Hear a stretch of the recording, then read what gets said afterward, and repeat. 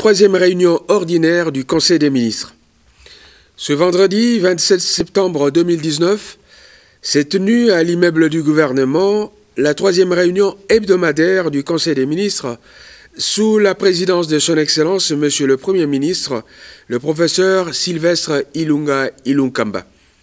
Six points figuraient à l'ordre du jour, à savoir 1. Communication du Premier ministre. 2. Points d'information.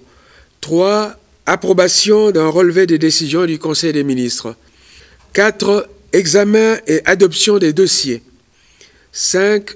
Examen et adoption des textes. 6. Divers. De la communication du Premier ministre. Le Premier ministre a exposé trois points dans sa communication, à savoir 1. La procédure d'introduction des dossiers et projets des textes dans le processus décisionnel du gouvernement, les états de lieu des ministères, le rappel de l'obligation du dépôt de la déclaration du patrimoine familial des membres du gouvernement, 3. Le rappel de l'obligation du dépôt de la déclaration du patrimoine familial des membres du gouvernement. Des modalités d'introduction des projets de textes. Le Premier ministre a commencé par rappeler l'exigence de la tenue hebdomadaire des réunions du Conseil des ministres. Il a insisté sur la maîtrise par les membres du gouvernement de la procédure de la saisine des instances gouvernementales et des commissions interministérielles permanentes. Des états des lieux de ministère. Le Premier ministre a rappelé l'importance des états des lieux de ministère en précisant qu'il s'agit des dossiers prioritaires qui constituent des actions importantes à mener dans le cadre de l'application du programme gouvernemental sur lequel le gouvernement a été investi. L'urgence de l'examen de ces dossiers prioritaires en ce moment est dictée par l'opportunité qu'offre cette période d'élaboration du budget 2020 d'en prendre en compte les éléments essentiels. S'agissant de la déclaration du patrimoine familial des membres du gouvernement.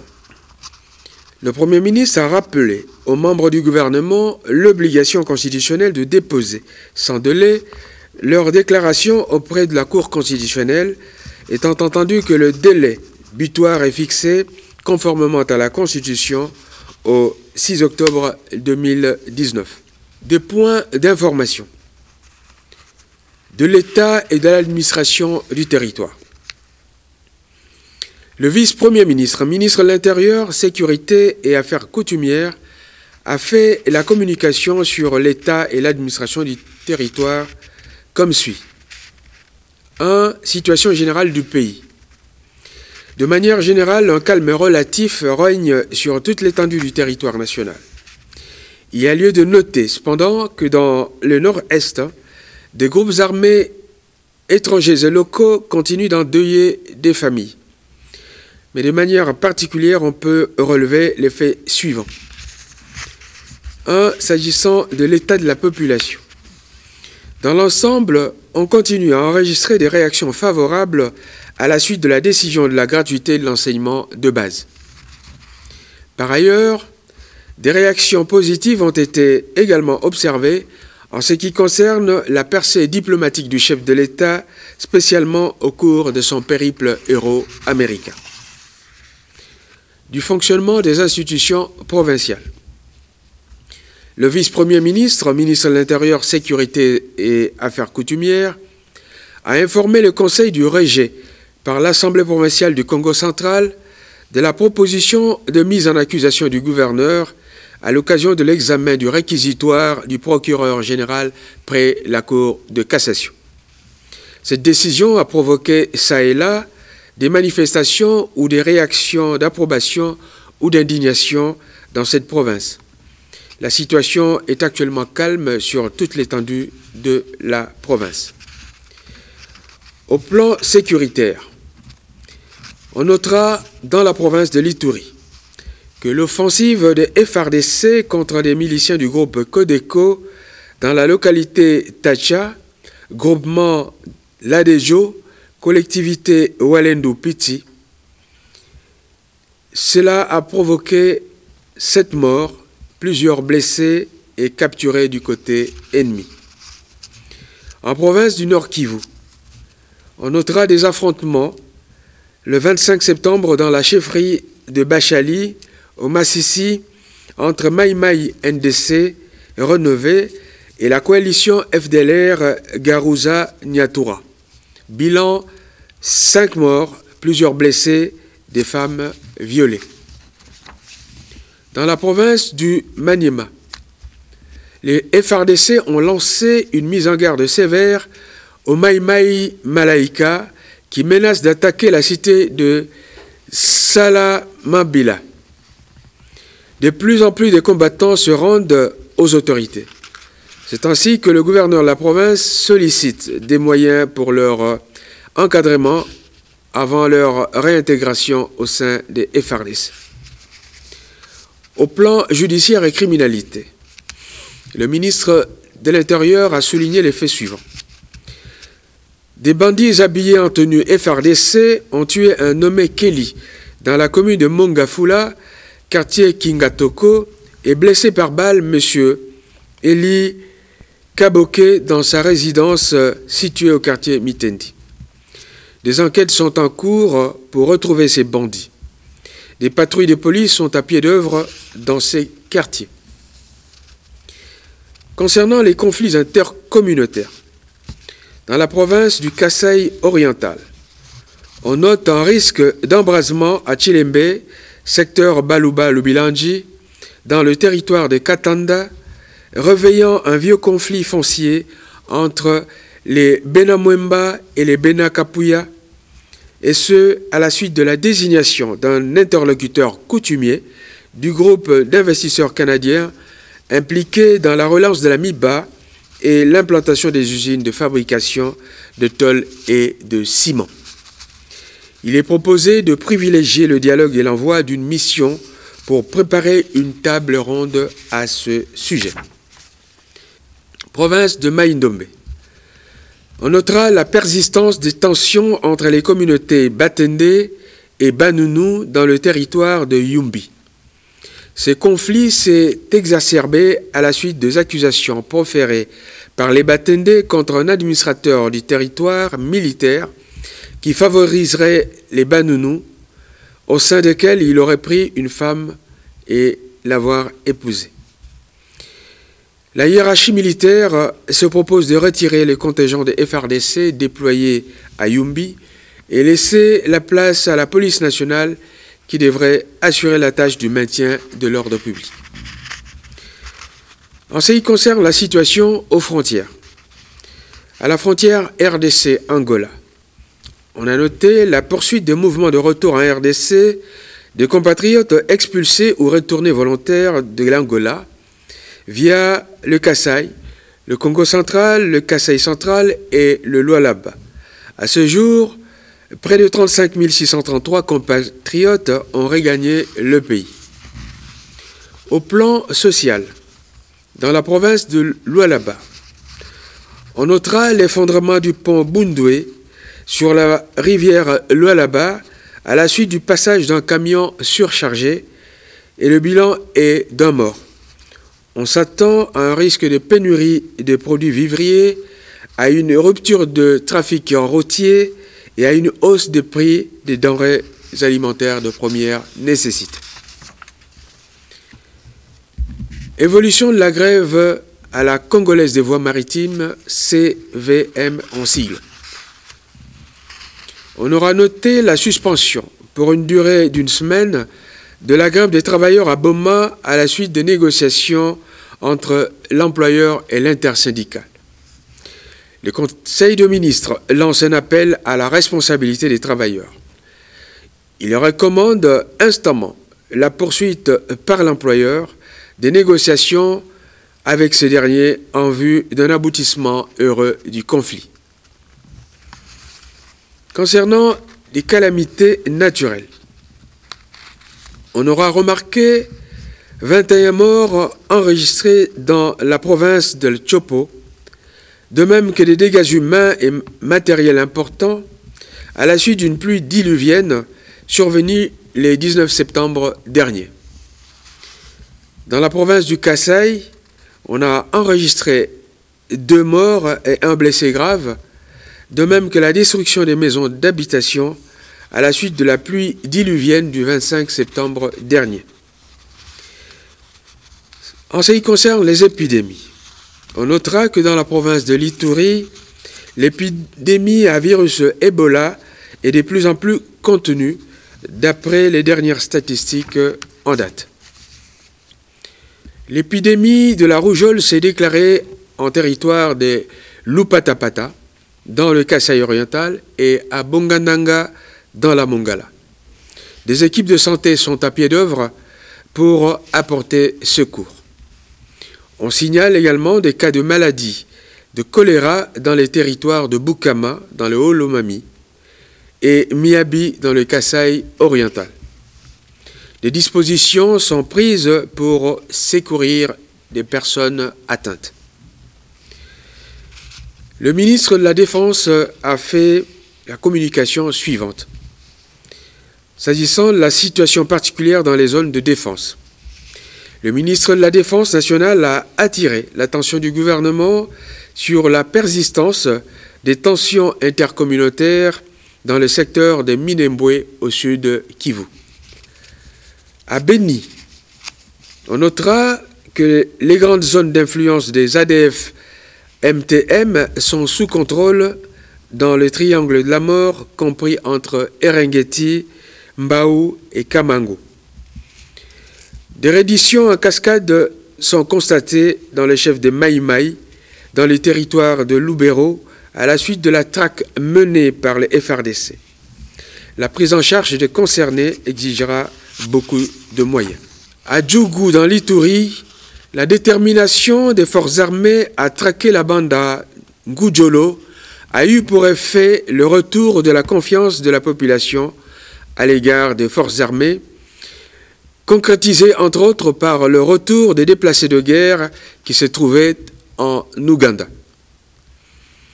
Le ministre de la Défense recommande d'impliquer les notables du coin et les leaders d'opinion dans la démarche d'apaisement.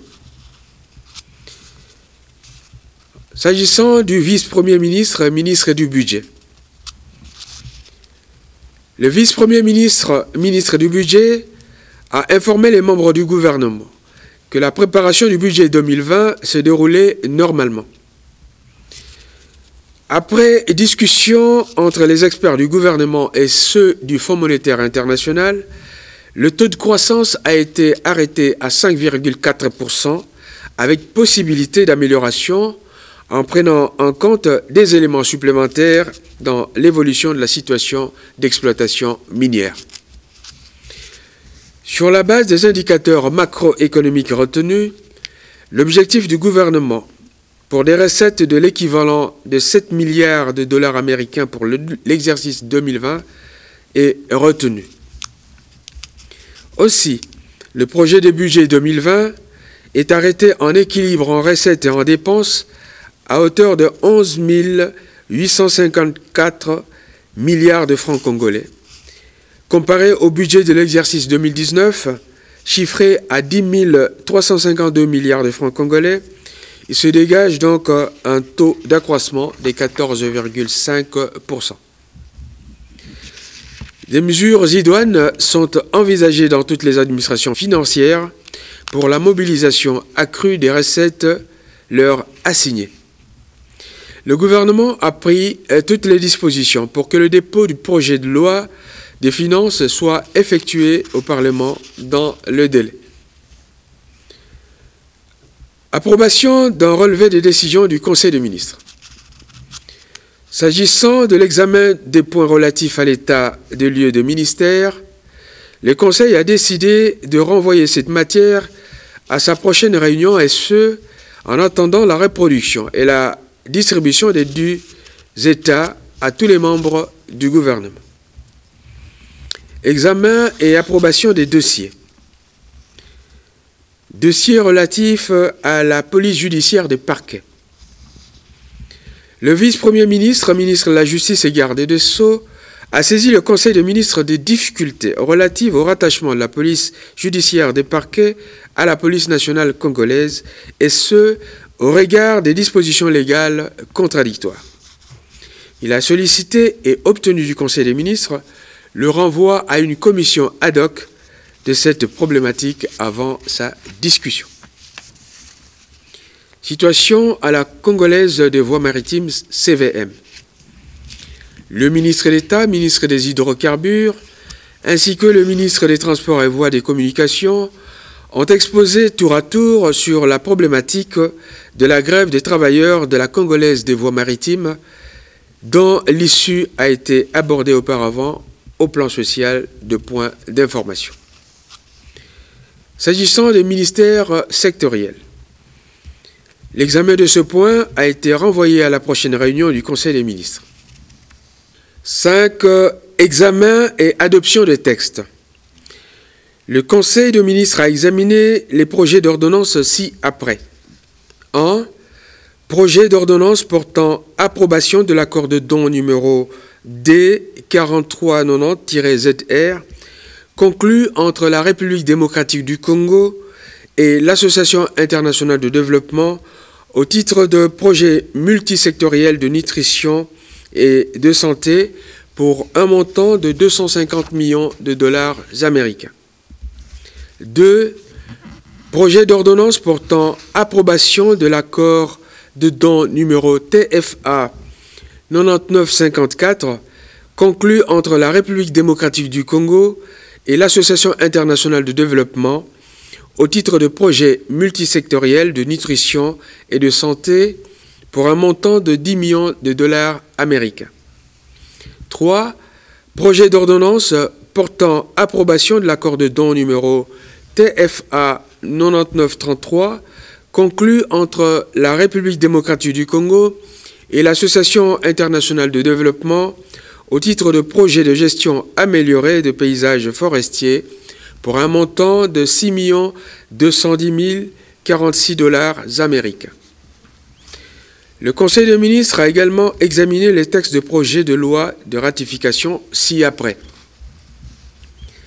Projet de loi autorisant la ratification de l'accord de financement du crédit numéro 6287-ZR du 21 septembre 2018, conclu entre la République démocratique du Congo et l'Association internationale de développement au titre de projet d'appui au développement des micro, petites et moyennes entreprises pour un montant de 100 millions de dollars américains. Projet de loi autorisant la ratification de l'accord de financement du crédit numéro 6441-ZR du 20 juin 2019 conclu entre la République démocratique du Congo et l'Association internationale de développement au titre de projets multisectoriels de nutrition et de santé pour un montant de 250 millions de dollars américains. Projet de loi autorisant la ratification de l'accord de prêt numéro 5900 15 000 25 51 du 13 juin 2019 conclu entre la République démocratique du Congo et la Banque africaine de développement BAD au titre du projet d'appui au bien-être alternatif des enfants et jeunes impliqués dans la chaîne d'approvisionnement du cobalt pour un montant de 45 millions de dollars américains. Projet de loi autorisant la ratification de l'accord de prêt conclu le 13 juin 2019 entre la République démocratique du Congo et la Banque africaine de développement BAD au titre de projet d'appui au développement des chaînes des valeurs agricoles dans les provinces de la RDC en sigle PADCA-6P et ce pour un montant de 28 millions de dollars américains. Après débats et délibérations, tous les textes ont été adoptés. Ainsi, les projets d'ordonnance seront transmis au président de la République, tandis que les projets de loi de ratification seront transmis au Parlement. Divers.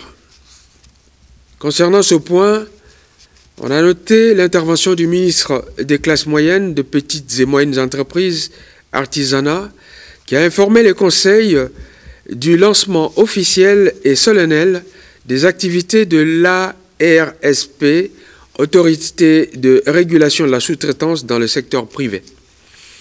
Ce sera le vendredi 4 octobre 2019 sous la présidence de Son Excellence Monsieur le Premier ministre et le haut patronage de Son Excellence Monsieur le Président de la République. Commencé à 13h25, la réunion s'est terminée vers 17h30. его